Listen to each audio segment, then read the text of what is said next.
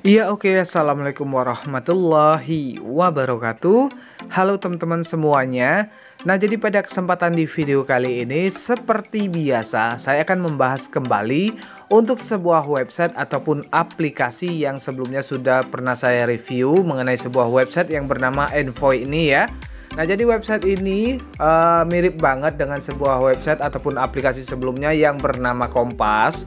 Nah, jadi buat kalian yang tentunya sekarang lagi bermain ataupun kalian juga yang belum melakukan deposit di sini, kalian bisa simak baik-baik dulu video ini teman-teman ya. Karena menurut saya untuk sebuah website ini masih terbilang dengan sebuah website ataupun aplikasi yang ilegal.